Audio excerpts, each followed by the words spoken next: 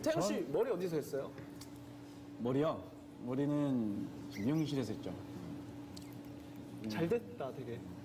멋있는 것 같아. 그래, 나는 그런 게 궁금해. 우리가 나나 태양이나 이런 머리를 막, 막 레게 머리도 많이 하고 이렇게 여러 가지 머리를 많이 하는데 뭐 항상 이렇게 SNS를 통해서 태양 씨 팬이 저한테 그러고 태양에게 제 팬분이 그러고 이렇게 오빠 예를 들어 저한테 오는 거면 오빠 태양 오빠한테 저 머리 좀 제발 하지 말라고 해주세요.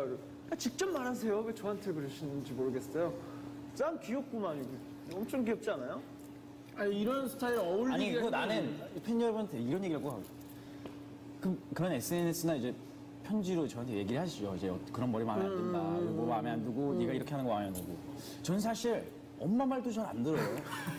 그러니까 그거를 저한테 얘기를 해봤자 그렇죠. 엄마 엄마 말도 안 듣는데 그럼요. 저희가 저희가 고- 근데- 감사하게 맞아. 생각은 하고 그럼요. 아 이런 생각을 하시는. 싫어하시는 부분이 있구나 하는 생각하겠지만 저희는 하라고 하는 친구들이 아니기 때문에 그러니까 영병이 진짜 효자인 거야.